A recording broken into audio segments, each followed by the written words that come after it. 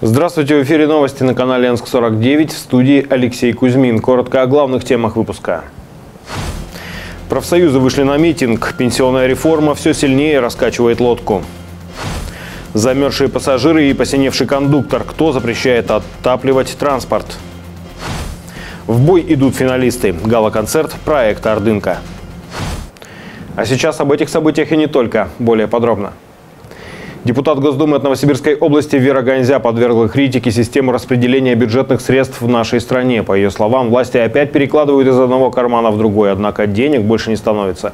И выступила против пополнения доходов муниципалитетов за счет системы штрафов. Выступление Веры Анатольевны на пленарном заседании Госдумы было весьма эмоциональным и ярким. Депутаты рассматривали предложения по перераспределению средств, и в частности, у них есть идея, как пополнить скудные бюджеты муниципалитетов, в числе которых была идея о том, чтобы создать условия, при которых муниципальные образования будут больше зарабатывать за счет штрафов. Давайте мы вообще все наше население обложим штрафами только за то, что они дышат воздухом планеты. Посетовала она и на то, что чиновники на ходу меняют правила игры, причем в момент, когда формируются бюджеты на следующий год. Мы опять, например, на ходу меняем правила игры, переобуваемся, можно так сказать. То есть э, муниципальные бюджеты, региональные бюджеты сейчас формируются, а мы опять им выкатили новые, так скажем, сюрпризы. И снова начнется опять вот э, неразбериха с этими э, бюджетами. По словам Веры Ганзи, голосовать за предложенный законопроект просто нельзя. Вместо этого необходимо снижать долговую нагрузку на регионы страны, превышающую 2 триллиона рублей, и перераспределить налоговую базу так, чтобы деньги шли прежде всего в областные и городские бюджеты, а не федеральный. То есть поменять саму схему, существующую в России. Вопросы социальной поддержки пенсионеров рассмотрели на заседании Комитета по социальной политике, здравоохранению, охране труда и занятости населения Законодательного собрания Новосибирской области. Депутаты одобрили проект закона о внесении изменений в отдельные законы в связи с изменением пенсионного законодательства. Что изменится в жизни ряда новосибирских пенсионеров после принятия этого областного закона в материале Василия Акимова. По поводу пенсионной реформы в последнее время кипят нешуточные страсти. Конечно же, и среди депутатов законодательного собрания отношение к ней разное. Однако они едины в том, что нельзя допустить ухудшения положения пенсионеров, и предстоящая реформа должна прежде всего улучшить им жизнь. Именно такие цели стоят перед проектом закона, который рассмотрели и одобрили на заседании Комитета по социальной политике, здравоохранению, охране труда и занятости населения. Изменения затронут 10 региональных законов, обеспечивающих пенсионерам право на льготы. Благодаря этому жители жители нашей области могут рассчитывать как минимум на сохранение всех льгот. Возрастные э, коридоры, которые были э, вот до настоящего времени, эти женщины, женщины 55 лет, мужчины 60 лет, они остаются, и как раз вот при достижении этого возраста наши уважаемые граждане будут обеспечены эти льготами. Льготы касаются повседневной жизни наших людей, это прежде всего субсидии на ЖКХ, Предполагаемые изменения затронут почти 200 тысяч человек. На поддержку этих людей выделят миллиарды рублей. Все, что связано э, с данными категориями, это и интеллигенция э, в сельской местности, э, там порядка 1,2 миллиарда мы предусматриваем на эту категорию. И вот то, что касается ветеранов труда федерального и регионального значения, то это порядка 4,6 миллиарда 4,7 а, миллиарда рублей ежегодно, которые предусмотрены тоже. Планируется, что проект областного закона о внесении изменений в отдельные законы в связи с изменением пенсионного законодательства депутаты рассмотрят и примут сразу в двух чтениях 27 сентября на очередной сессии регионального парламента. Тем временем Федерация профсоюзов Новосибирской области провела митинг против пенсионной реформы. Акция протеста состоялась в Нарымском сквере. Напомним, что в столице Сибири прошло уже больше десятка мероприятий против повышения пенсионного возраста и увеличения НДС. Граждане выразили свое категорическое несогласие с федеральными инициативами и готовы в дальнейшем отстаивать свою позицию. Как только правительство Российской Федерации заявило о новом законопроекте, согласно которому будет повышен пенсионный возраст для женщин до 63 лет, а для мужчин до 65 лет, в стране начались массовые акции протеста. Новосибирцы также выходили на многотысячные митинги. Не убедили граждан и предложенные президентом поправки. Возмущение населения только растет, и главная цель протестующих – добиться отмены данной реформы. Очередное мероприятие против повышения возраста выхода на пенсию организовала Федерация профсоюзов Новосибирской области области. Не надо нам диктовать, мы сами понимаем, что мы делаем. мы делаем правильное, праведное дело. Мы считаем, этот вопрос можно решать, не унижая людей и не делая так, что э, одной небогатой части населения пенсионерам повышать пенсию за счет другой небогатой части, э, вот сегодня те, которые трудятся. На митинге были представители различных профессий – медицинские сотрудники, ученые, работники агропромышленного комплекса, воспитатели и учителя. Для каждого выход на пенсию после 60 лет – огромный риск для здоровья, не говоря уже о других сопутствующих проблемах. Дети – это большая ответственность, а человек, когда в пожилом возрасте, как бы с него ответственность уже такая, наверное, уже снимается, это просто уже даже опасно и для самих родителей, которые доверяют свое самое дорогое, и для самого педагога в таком возрасте находиться на работе с детками. Принятие реформы, рассказывают представители профсоюзных организаций, станет причиной тотальной безработицы. Куда идти молодежи, возмущаются протестующие, если на должностях держат людей преклонного возраста. И так сокращаются рабочие места, и так людей сокращают. Если у нас люди еще будут дольше на 5 лет работать, они могут и будут иметь официальное право и обязанность это делать. Тогда получается, что молодежи совсем негде устраиваться. Самое э, плохое в этом, что молодежь будет искать искать случайные заработки. И еще страшнее то, что еще больше начнет уходить в теневую экономику. Добавим также, что акции протеста проходят во многих городах страны. Большинство россиян оказались категорически против данной инициативы правительства. Как считают граждане, продолжительность и уровень жизни в Российской Федерации не достигли таких характеристик, когда выход на пенсию после 60 лет был бы оправдан. Стартовавший новый учебный год для системы образования Новосибирской области обещает быть особенным. В первую очередь дело касается активного внедрения инновационных технологий на всех уровнях учебных процессов, от дошкольного до высшего профессионального. Ключевые проекты, которым региональные власти будут уделять особое внимание, коснутся как педагогического состава, так и самих учащихся. Подробнее о новшествах 13 сентября рассказал руководитель областного министерства образования Сергей Федорчук. Новый учебный год для Новосибирской области особенный. Построено, отремонтировано и расширено немало школ, а система образования направлена на инновационные изменения. Глава региона Андрей Травников поставил перед профильным министерством конкретные задачи. Самоцелью является улучшение материально-технической базы обучения и э, изменение инфраструктуры, чтобы школы были в доступности, чтобы ребята могли совершенно спокойно посещать не только э, занятия, которые предполагают, предполагается в учебном плане, но чтобы в школе можно было организовать дополнительное образование для детей, которые так или иначе по какому-то направлению имеют э, особенности в развитии, имеют определенные таланты, и мы могли бы организовать эту среду для них. Среди приоритетных образовательных проектов можно отметить создание детского технопарка «Кванториум», центра по работе с одаренными детьми, специализированных учреждений дополнительного образования. Большое внимание областные власти совместно с учебными заведениями намерены уделять повышению интересов детей к различным профессиям еще на стадии школы. Мы сегодня выстраиваем работу по профессиональному ориентированию школьников.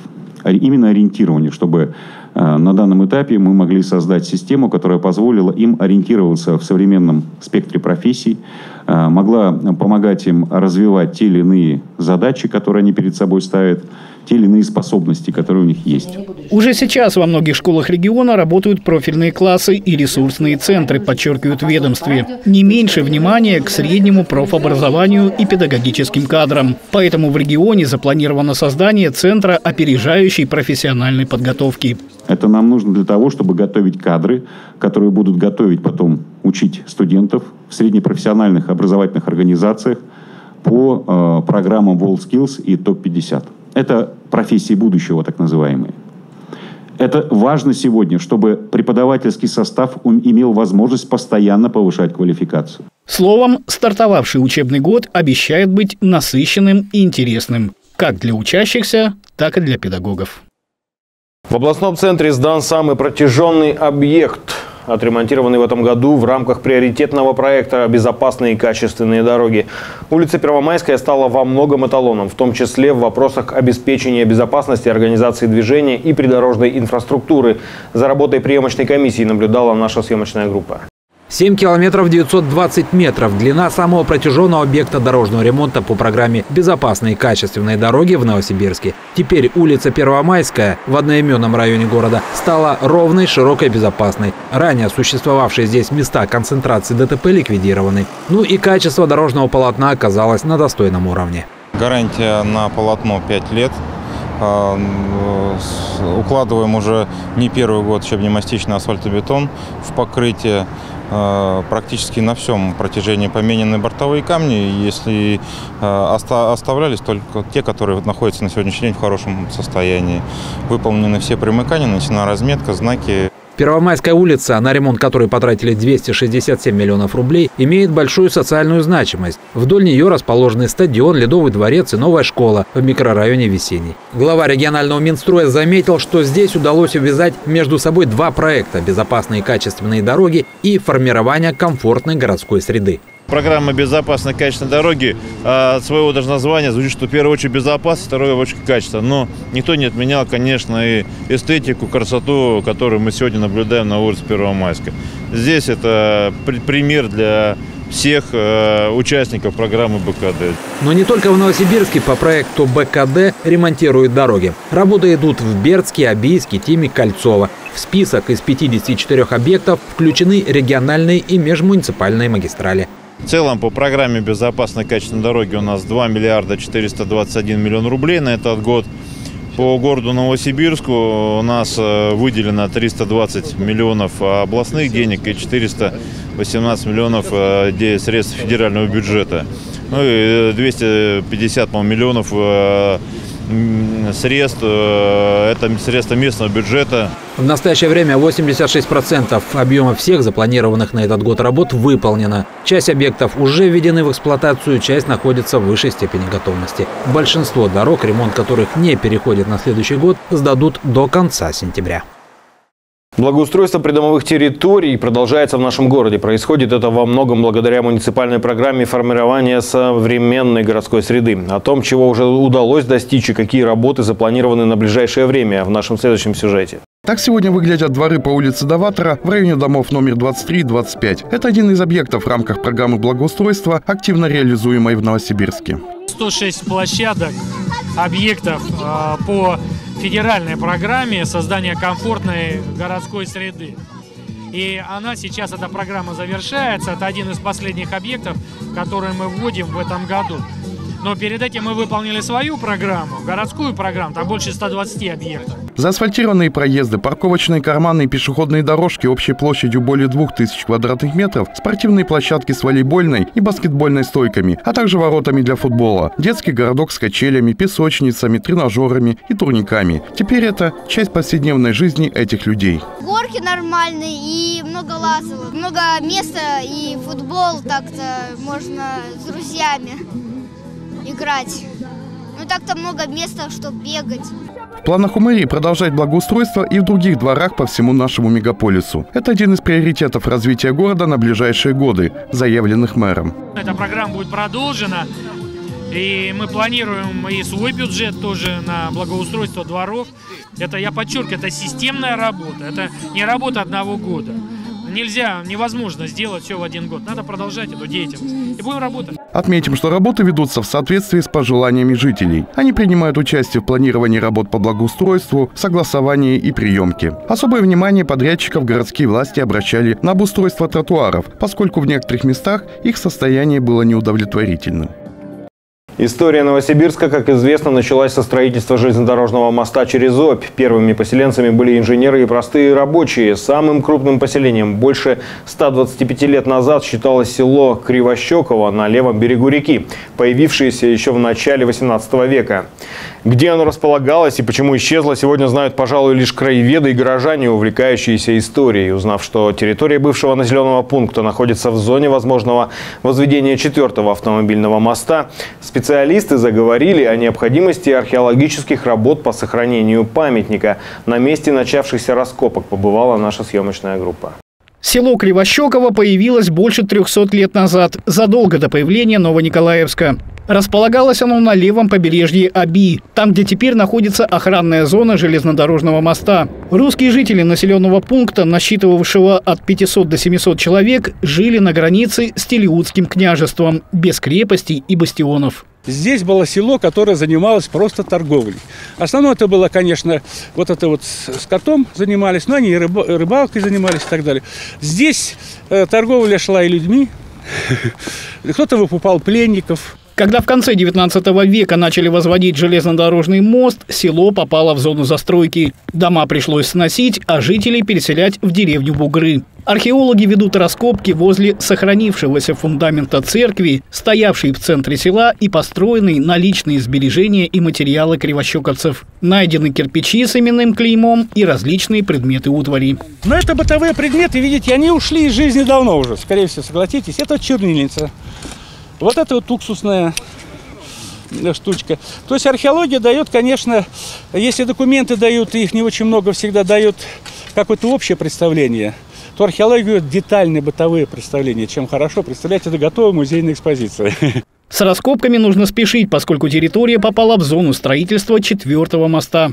Но часть объекта удалось договориться с заказчиком оставить под модификацию. Поэтому мы копаем самое необходимое под две опоры эстакады, чтобы э, вот материал, который здесь попадается в зону строительства, не пропал. Археологи планируют найти много предметов, которые расскажут о жизни поселенцев и также кладбище 18 века. Работы будут продолжаться в течение полутора лет. Правительстве Новосибирской области наградили лучших работников лесной отрасли. Лесная отрасль э, региона за последние 9 месяцев пополнила областной бюджет почти на 70 миллионов рублей. Сохранность леса зависит во многом от погодных условий. Специализированным предприятиям вручили сертификаты на получение лесопожарной техники. А при поддержке правительства региона в Сузунском районе области создано межрайонное пожарное отделение. Несмотря на финансовые сложности многих предприятий, слаженная работа лесоводов позволила увеличить объем заготовок древесины на 12%. Во многих районах точечно возникают производственные площадки по ее переработке. Для омоложения и разведения лесных пород, сохранности и приумножения лесов в этом году на территории региона высадили деревья на 1180 гектарах земли. Сегодня большие изменения прошли в лесном законодательстве. То есть сегодня появляется права, экономическая основа для комплексного ведения лесного хозяйства. Это и изменились правила проведения рубок в лесах, которые позволяют нам сегодня, даже в рамках существующих сегодня отношений, проводить рубки обновления переформирования. Это и возможность сегодня нам поиски серьезных инвесторов для переработки древесины. Климат в регионе и халатное отношение человека способствуют возникновению лесных пожаров. Для укрепления материально-технической базы лесохозяйственных предприятий приобретено лесопожарное оборудование почти на 7 миллионов рублей. Общая площадь лесных пожаров в 2018 году сократилась в три раза. Этому способствует слаженная работа всех служб и непрерывный контроль, который ведется с помощью пожарно-наблюдательных вышек с использованием камер видеонаблюдения, авиамониторинга, данных космического мониторинга и наземному патрулированию. Хочу вас поблагодарить за ваш титанический труд, который направлен на сохранение лесов, за вашу работу по профилактике и борьбе с лесными пожарами. Хотелось бы, чтобы слова поздравления дошли до каждого. Поэтому, друзья, а, желаю всем удачи, всех с праздником. Спасибо. Сохранение и увеличение лесных массивов Новосибирской области – одна из приоритетных задач региональных властей. В лесной отрасли региона более 50 предприятий, более 3000 сотрудников, которые реализуют полный комплекс мер по охране, защите, воспроизводству лесов и их использованию. Из областного федерального бюджета в регионы и арендаторов лесных участков на нужды лесохозяйственной деятельности ежегодно направляют денежные средства. Наступившая осень выявила неожиданную проблему в сфере пассажироперевозок Новосибирска. Отличился ГОР «Электротранспорт». Обратившиеся его работники рассказали редакции нашего канала о запрете руководства включать отопление в салоне троллейбусов. В результате явная экономия электроэнергии, а также замерзающие кондукторы, дети и возмущенные пассажиры. Вот такой набор социально напрягающих факторов буквально на ровном месте. Люди, намерзшиеся на остановке непривычно холодным утром, с нетерпением заходят в салон троллейбуса в надежде согреться. Но их ждет разочарование. Внутри разве что ветра нет, а температура такая же, как на улице. Прохладно, плохо, простывают, дети простывают. Конечно, плохо. А холодно, потому что, как нам рассказали работники Кировского троллейбусного депо, не было приказа включать электропечи в пассажирских салонах экологически чистого транспорта. Оттого и невыносимые условия руки мерзнут, вот это мелочь в основном. Карточек, вот люди не хотят пока на карточки переходить, вот в основном у них мелочь идет. И вот когда мелочь считаешь, она из рук падает, потому что примерзает. Кондуктора замерзают, просто замерзают. Они как пингвины сидят красные, синие. По, приказ по управлению печи не подключать. Подключить только в троллейбусах системы Тролза, так как там идет стек, стеклообогрев. Все. Стекло в кабине. А салон вообще после влажной уборки, там даже бывает налить. Целый вал недовольства пассажиров принимают на себя кондукторы и водители троллейбусов, которые в этой ситуации находятся как на передовой. Пассажиры утром постоянно жалуются. И звонят, и кондуктор у меня сегодня заболела, и пошла больничный лист. Ваш кондуктор? Да, мой кондуктор. Я сегодня без кондуктора поставил в парке 4 часа или 5 часов. Глядя на кондуктора, просто жалко. Замерзает. В кабину нельзя пройти. Провоз в кабине запрещен. Работники горэлектротранспорта говорят, что при низких температурах на рабочем месте по закону на линию они могут и не выходить. Но кто пойдет в открытую против руководства, которому надо, чтобы троллейбусы перевозили пассажиров? А как, это уже, видимо, другой вопрос. Я сегодня даже ходила к директору. Директор сказал, как будет приказ, как мы заплатим электроэнергию, у нас долги, тогда и будем подключать печи. Нету. А если, говорит, самовольно подключите, у вас по зарплате стебанут. Да. И увидят, если. Они... Контролерам дали даже указание, то что если проверять, будет проверять, будут печи в салоне подключены, писать акты. Хотя есть и совсем другая точка зрения. Мол, расслабились мы в последнее время, стремясь к цивилизации и комфорту. Забыли, каким бывает ненавязчивый сервис и позиция «клиент всегда не прав». Теплее одеваться надо по сезону. В информационно-справочном отделе по работе городского транспорта нам пояснили, что есть инструкция по экономии электроэнергии, согласно которой обогрев салона должен включаться, когда уличная температура упадет ниже минус 10 градусов по Цельсию. Кто написал эту бесчеловечную инструкцию и в каком веке, мы не знаем. Но есть уверенность в том, что такого положения вещей в цивилизованном и комфортном Новосибирске быть не должно.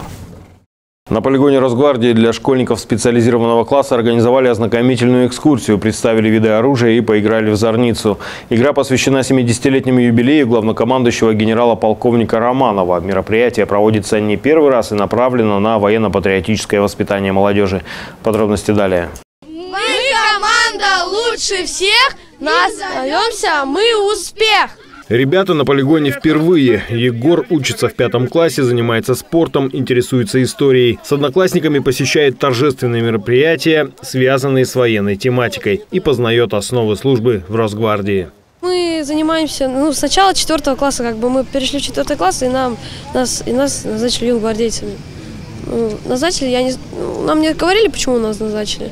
Перед началом спортивной игры в Зорницу юным гвардейцам провели экскурсию по полигону. Показали, какие бывают виды гранат, мин, взрывчаток и огнестрельного оружия. Вообще это пистолет-пулемет считается. Он может вести огонь как одиночно, так и автоматически. Имеется переводчик огня. Служебные собаки показали навыки обезоруживания преступника, выполнения команд. На стрельбище бойцы ОМОНа продемонстрировали стрельбу из разного оружия боевыми патронами. Сегодня мы проведем игру «Зорница», которая будет включать в себя э, несколько этапов.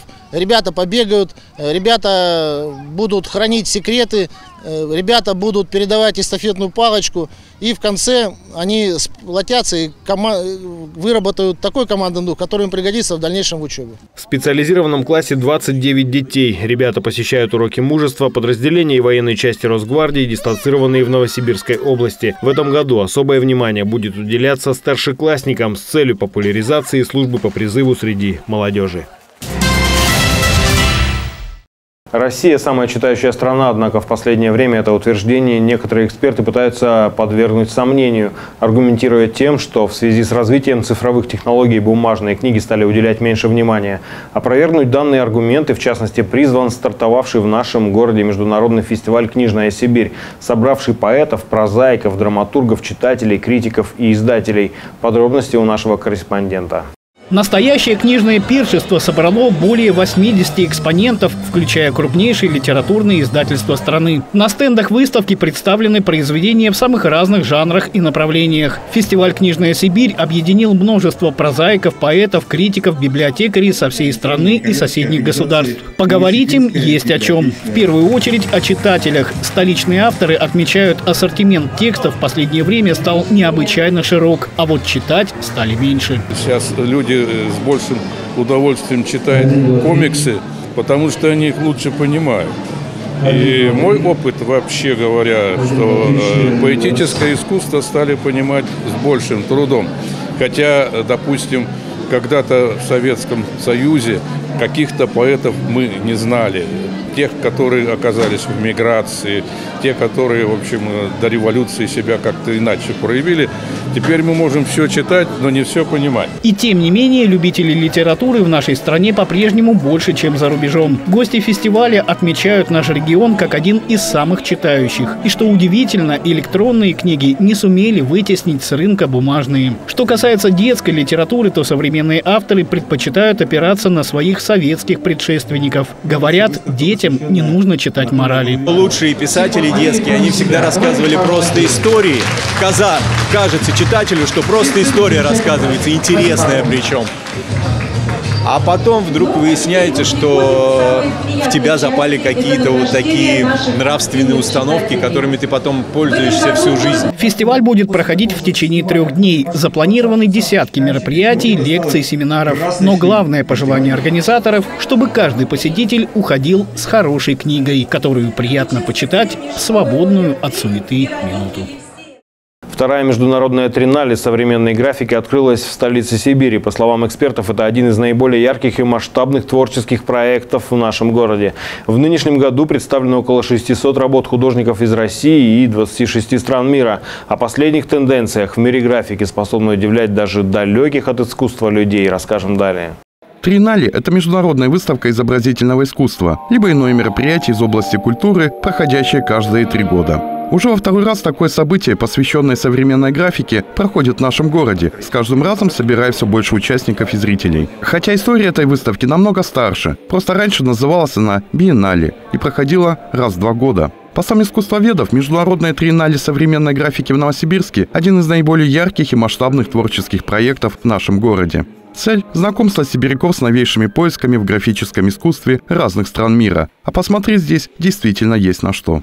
При помощи графики можно передать самый широкий спектр человеческих эмоций. Именно это старается сделать питерская художница Алиса Алексеева. Наши сибирские творцы стараются не отставать от столичных знаменитостей.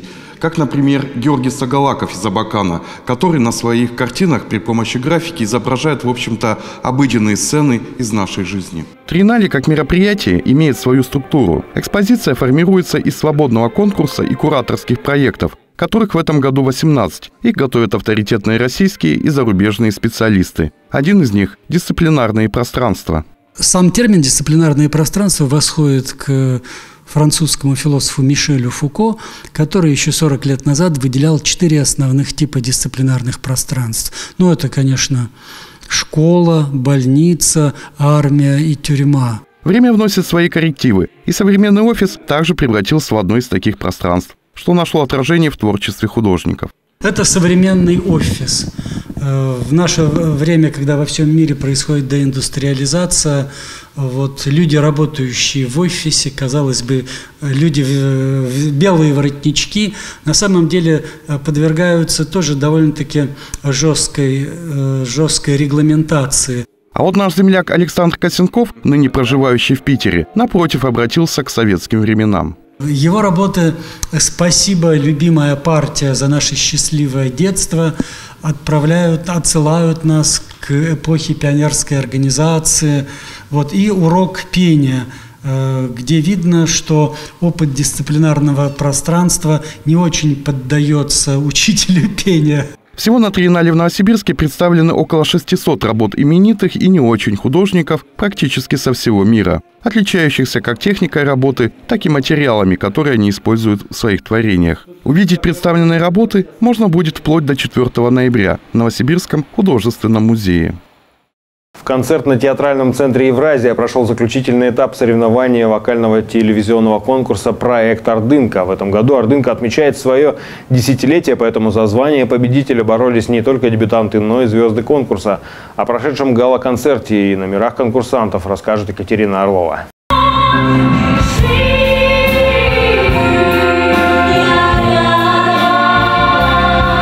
Проект «Ордынка-2018» оказался одним из самых ярких за все 10 лет, так как преподнес большой сюрприз ветеранам вокального конкурса. Новый сезон завершился суперфиналом, где за звание лучшего исполнителя сражались настоящие звезды – финалисты прошлых 9 лет. Для многих это был шанс вновь вернуться на любимую площадку, заново испытать то приятное волнение перед выходом на сцену и поделиться с публикой своим творчеством. Я вот когда в том году победила в Ордынке, я подумала, господи, ведь победителю, ну как бы на следующий год не резон идти, да, ну на самом деле. А тут меня, я не знаю, я так тосковала, я смотрела с другими, думаю, господи, я так хочу туда обратно, вот на эту Ордынку. И мне кажется, мои молитвы были услышаны, и тут говорят, битва победителей, можно вот и такая возможность выпала здесь опять побывать, и я очень рада, я надеюсь, что я здесь буду еще не раз.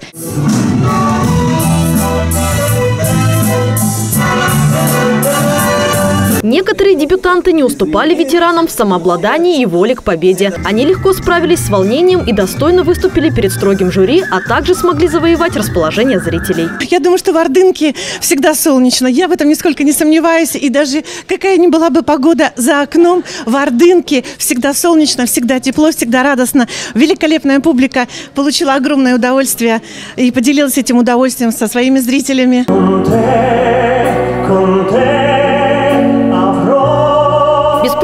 Вариантом оказалась песня, написанная, пожалуй, на самом романтичном языке. Победитель одного из прошлых сезонов Сергей Скурыхин исполнил чарующую итальянскую композицию и не прогадал. Борьба между конкурсантами была очень драматичной, но в итоге Сергей обошел других ветеранов Ордынки, Кристину Томину и Марину Дорошкову, всего на один балл.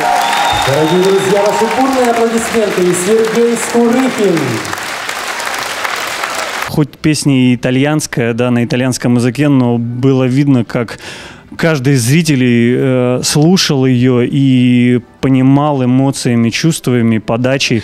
Песня про любовь к девушке, к женщине. В любом а, возрасте есть любовь, и эта любовь несется сквозь года. Многие участники «Ордынки» не готовы так просто расстаться с проектом. Кто не одержал победу в этом сезоне, может вновь побороться за звание победителя уже в следующем году. Вероятно, один из нынешних финалистов завоюет первое место в «Ордынке 2019».